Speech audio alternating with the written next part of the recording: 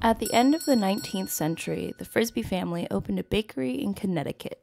They soon became pretty popular for their pies. Some local students at Yale University one day found themselves pretty bored, so they picked up some of these empty pie tins and threw them around. Fun fact they would yell frisbee to notify the other player to catch the disc. It soon started to spread to other colleges and universities across the country. People like Fred Morrison on the West Coast designed a durable plastic disc called the Pluto Platter in 1951. Wham-O Toy Company paired up with Fred to make them in mass production in 1957.